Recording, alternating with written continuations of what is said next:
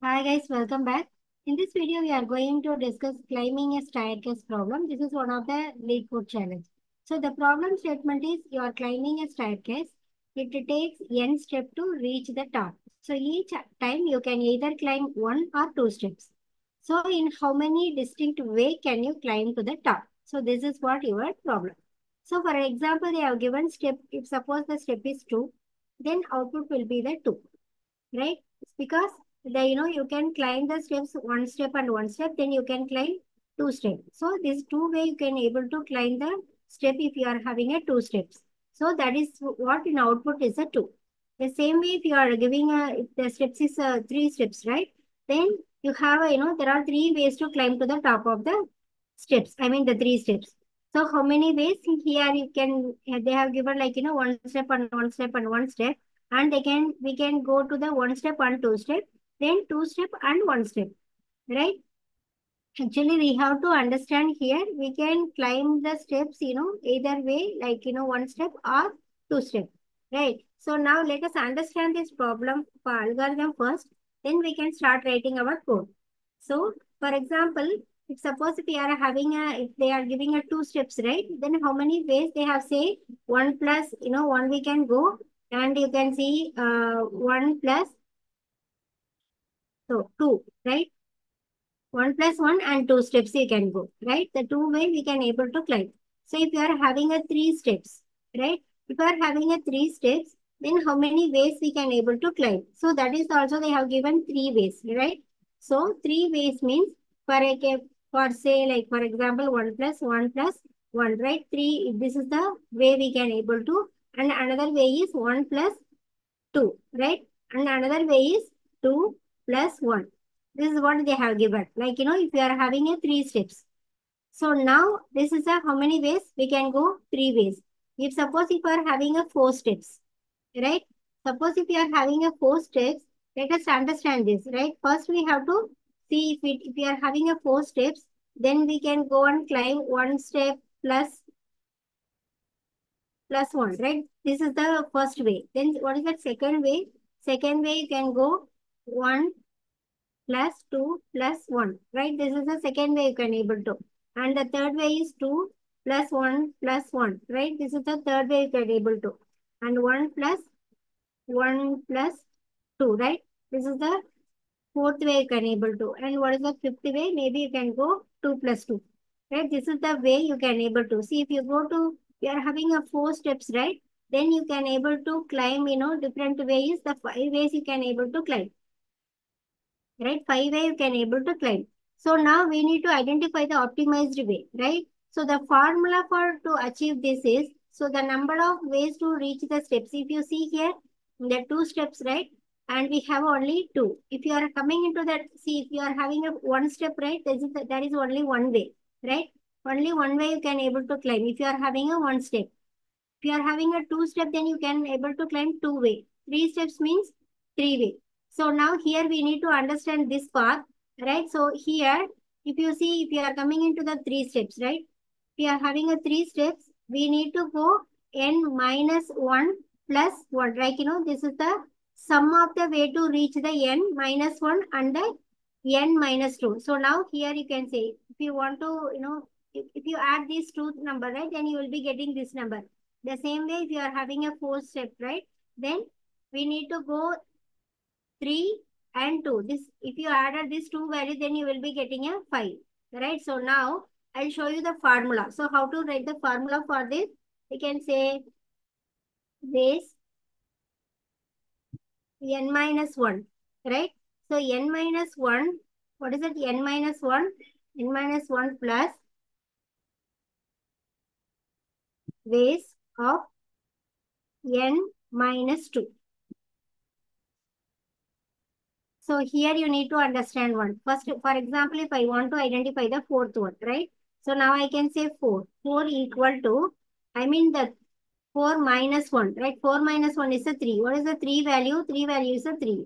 So I can say 3 plus n minus 2. n is a 4. 4 minus 2 is a 2. So 2 value is a 2. So now we need to say, so this is what your answer, right? Ways of n minus 1 plus ways of n minus 2 is your step. Suppose if you are having a 8, right? If you want to go to the 8th step, this is the same way you can able to, right? So you can't go this way. What we have, we can able to achieve, if suppose if you are having a more steps, then you can able to achieve in this way, right? With this formula. Okay, let's write a program and we'll make understand that. So I'll create a method for that first. So let's create a method for, I'll create a static method. So this is going to return you the integer. I mean, how many uh, ways we can able to climb the stairs. So that's what is return type is the integer. Then we can say climb stairs. So this method is going to accepting the integer. That is steps. How many steps if you want to add, you can uh, pass the argument. Now, now first uh, first point, like you know, you can say if suppose if the n n is uh, uh, less than equal to 1 then it is going to return you this is going to return you the 1 because if you are having a only one step then it you are going to return a only one. So now let's say here we need to create an array. So create an array to store the number of ways to reach each step. So we can create an array first. Array of can give any variable name new integer here you can pass how many, uh, you know, uh, argument, right? How many elements. So we can say n plus 1. Right? So now here, here we need to say the first value. First value we know that, right? I mean, uh, first uh, one, I mean, if you are having a one step or if you are having a two step, we know that how many ways we can able to. So we can say dp of 1, right? If it is a 1, then we are going to say 1. So it's going to return 1. If suppose if it's a dp of 2, right?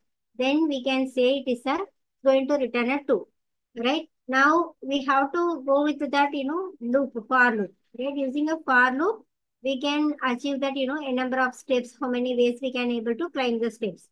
So I'll say for loop integer i equal to, let's say 3, right?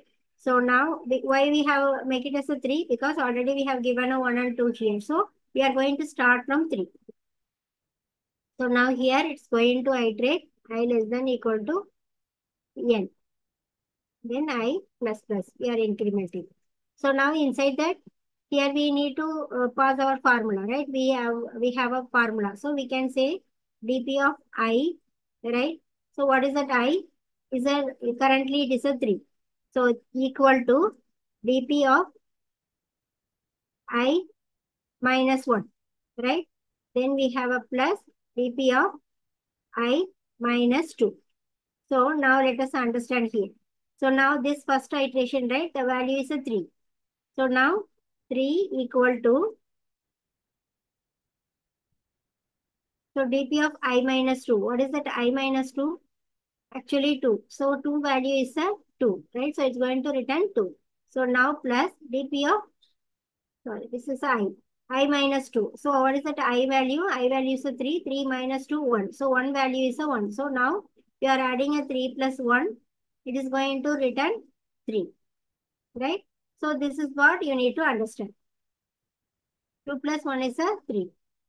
So 3 value. I mean, if you are having a 3 step, then value is a 3. I mean, 3 way you can able to climb your the steps. So now finally we can return the number of ways we can reach. Return dp of n. So we need to return. So here we can Okay, so now we have done a method. Let us call this method in our main method. Okay, so first we can add steps.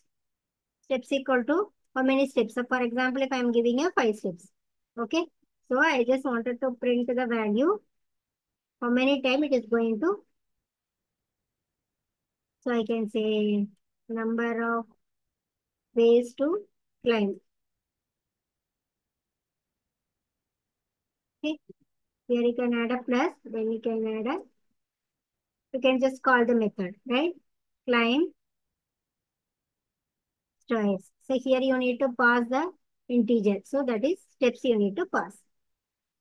Okay, so now let's run this. We'll see how this is working.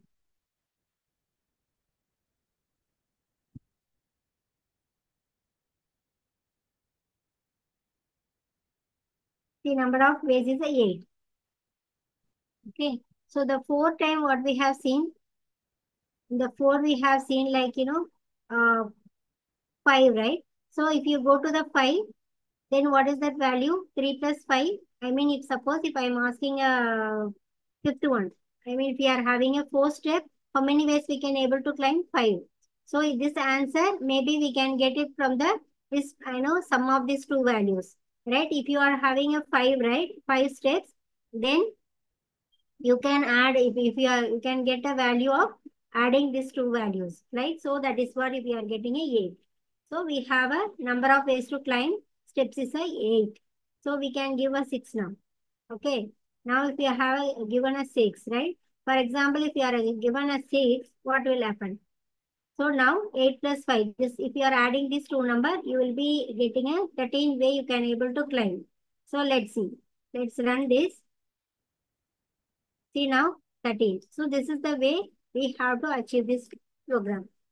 Right? I hope this is clear.